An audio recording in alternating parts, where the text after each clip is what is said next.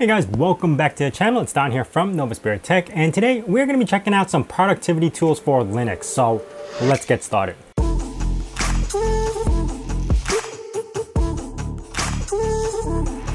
Now, in my last video, I just recently reinstalled uh, KDE onto this laptop. And in that video, I did cover some fresh install stuff like uh, FlatHub and a few other applications that I would install into this laptop. But now we're gonna turn this into more of a productivity machine. So I'm gonna show you some of the applications that you can install that is alternative to what you would use on Windows. So let's begin. Here's my desktop. If you're not familiar with it, this is Kubuntu and everything we talk about can be installed through the App Store if you followed installing Flatpak as well. The first thing I'm going to show you is uh, LibreOffice, which is very common if you install any desktop environment that usually gets pre-installed with the operating system itself. So we're to check it out. The first thing we're to uh, check out is Libre Calc, which is their version of spreadsheet or Excel. And here we have the outlook of the new LibreOffice. Now you can actually change the theme on top to make it look more Excel-like. That's why it looks very similar to what you would find on Excel.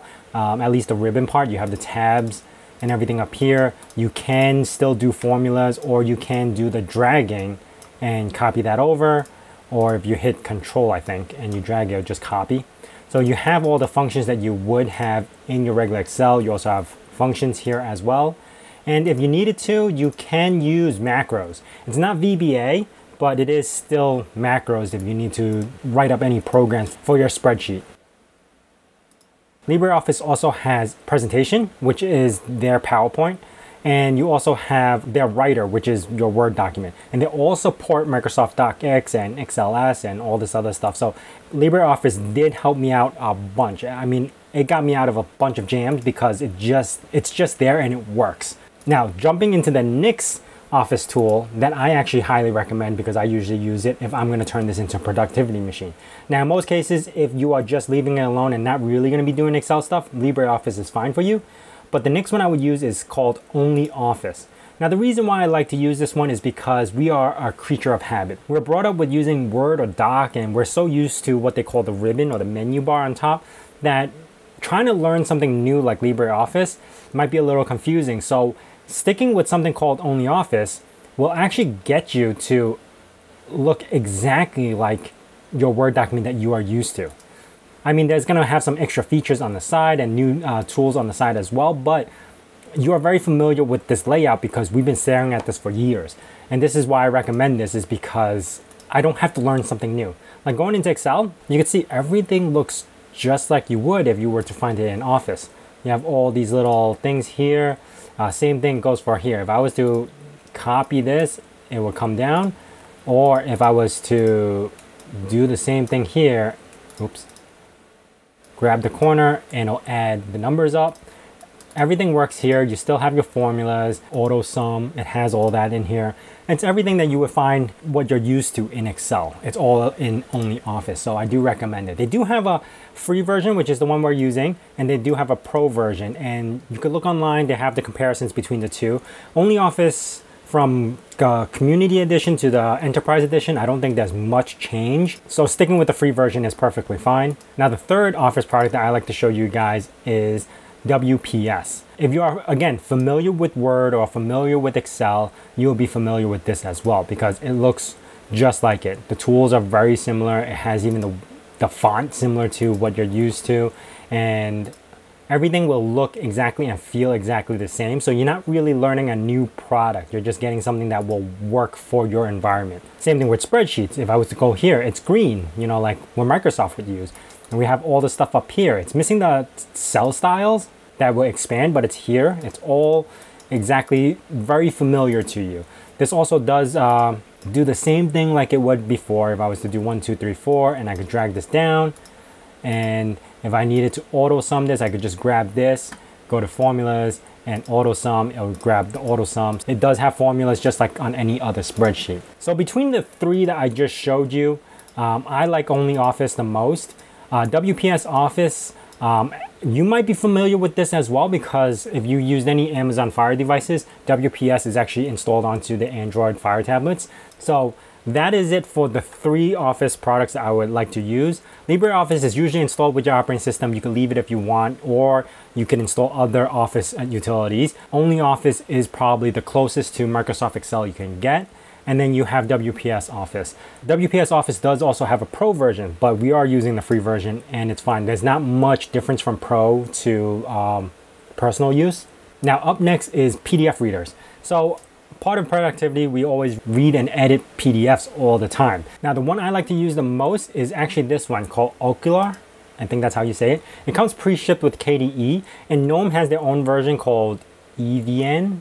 I'll leave it right here. I don't even know how to say that, but they're both about the same, and I only name these two is because these are the two that allows you for editing and annotations for PDF documents. So I'm gonna open a document over here, and I'm gonna open this which is the MagPi, and it views the PDF perfectly fine. Now, if I wanted to just view a PDF, I could open it in Firefox if I wanted to. But what I like about these is that this one allows me to insert text. So I could just type here and boom, I have my inserted text. So I could fill out forms using this version. I also like this MagPi magazine. If you haven't noticed, I'm actually in this magazine. So if you guys ever pick up this uh, version, MagPi 101, which actually, if you go on my Discord, I have a download link for this.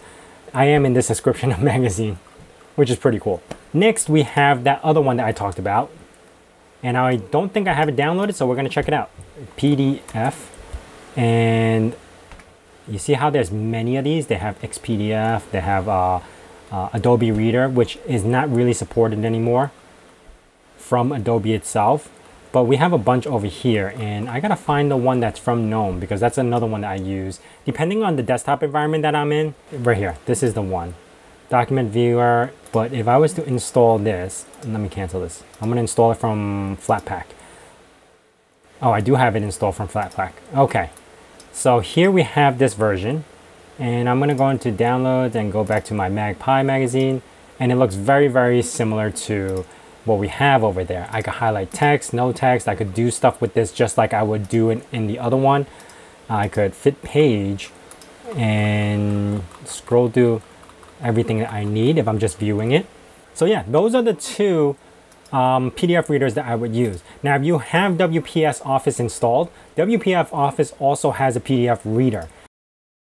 And this is their version of the reader. And I believe if you have the pro version, you can edit. Otherwise, it's just a view only. So that's why I recommend the first two because the first two allows you for editing. Last but not least, we're gonna check out some email clients. And I do have a favorite here. Now, anytime you install Linux, most cases, if you install Firefox, it will come with Thunderbird. And Thunderbird is the most commonly used mail client.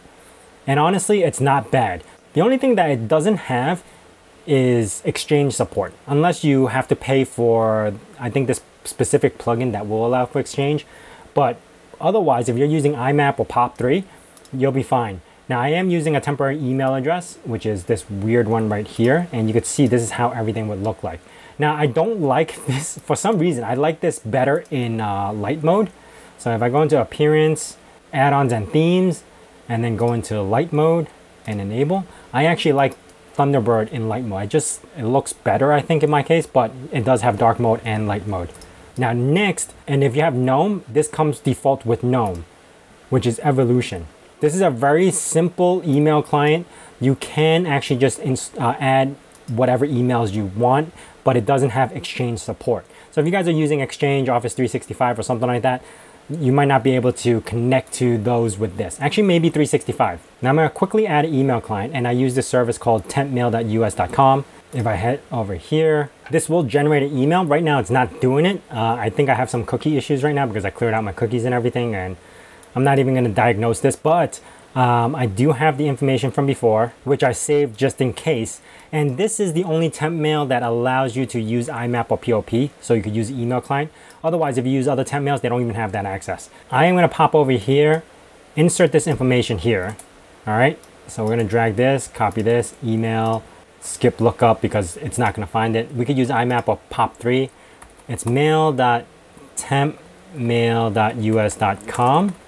Port is 143 and username is your email user and make sure this is actually on none. There's no encryption on sending out email, so you gotta be careful with that. And we're gonna do next, next, And then this is a server for SMTP, which is mail.tempmail.us.com. And then we have our port, which is to be 26. Again, this one will have to be start TLS and username is the same as before. And then we could hit next. Username is that, yes, apply. It's going to ask you for password, which I have this weird one right here. Okay. And there we have it. We logged into our email. I go into inbox and we have that testing email that we have earlier. Uh, swap it over here and you can see. Now again, this also looks better in light mode um, just because all the emails come in white. So it kind of blends in a little bit easier, but it does work. It's very easy to use. It does have calendar support, has contact support. Uh, same thing with Thunderbird. So these two are like comparatively almost the same. Now, what I do like to use, my personal one that I would use for email client is called Bluemail. Bluemail is something you might be very familiar with. If you have this on your Android phone or any other operating system, you could actually use something called Magic Sync and it'll generate a number and you could just link all the accounts together without inputting all the information again. But if we're gonna do this, we could hit continue. And why I didn't join this yet is because what I wanted to show you. This actually supports Outlook, Exchange, 365, and supports everything that you need, some sort of services, and it's pretty. This is such a pretty thing. And if you're going to use this for an Android app, which I do, it also supports generative AI for messaging. It could summarize the email that's coming in. You could actually send email.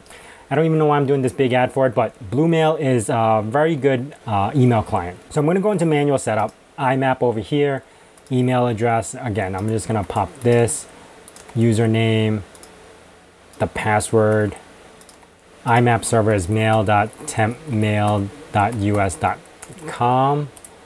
Again, no security for this outgoing. And this is 143. Next. And then for the incoming, mail.tempmail.us.com. Start TLS, and this port is going to be custom, and you want to change this to 26. This is just for my thing. I'm, I'm going to erase that temp mail as soon as this video is done. But if you guys ever interested in using temp mails, that's the way. I'm just going to name this temp and then we'll go next. You get to choose your accent color. You could use default or compact style. I'm going to use this. And here's my test mail. Everything looks so clean on this and it does support calendar and contacts as well. You can play around with this. It does have dark mode. If you use the Android version, it even has the dark mode for the AMOLED LED. Uh, so it actually turns it black black and saves you battery while you're browsing your emails. Composing an email over here. See now it has introduced Bluemail Gem AI. You can now write and summarize your emails using AI. So yeah, you can use uh, generative emails for this. This is how it looks like. So I'm very familiar with this because this is the style of Gmail client. So if you're familiar with the web version of Gmail, this is very similar to that. And if you want something super lightweight that you could install anything, even on a Raspberry Pi or anything like that, you can check out Geary. Geary comes shipped with a lot of operating systems, but again, this is super lightweight. It is quirky and it does have some stuff that it doesn't support like signatures. It does support signature, but it doesn't allow you to insert an image in your signature. There's a few things. It's just keep in mind this is super lightweight, but it works. So if you need an email client just so you need an email client, this is where you would go. Uh, it does have like conversations. So as you're emailing uh, stuff that goes through, it looks like there are conversations over here. I'm not a huge fan of that style because it gets confusing for me, but again, it keeps it simple. Anyway, that is it as far as uh, office productivities. There are a lot more tools out there. I know there's more PDF readers. There are definitely way more email uh, clients, but these are the three or the top three I would consider. Uh, there's more office products as well, but again, these are the top three I would consider. If you guys have any office productivity tools that you guys use, let me know down in the description below because I like to check them out. And we're going to be going through this course of other tools I'm going to be installing, uh, multimedia, stuff for photo editing. We're going to be installing all the applications into this desktop. Obviously, I'm going to remove the ones that I don't want because I'm not going to be using WPS on this machine, but I will be keeping OnlyOffice like that. I'm going to be removing some applications as I go. But if you guys have any more recommendations for Office productivity programs, hit me down in the comments below. Anyway, if you guys are new to this channel, consider subscribing and also hit that bell notification icon so you know when the next video is going to be out. And as I say my nerd cave, hack till it hurts.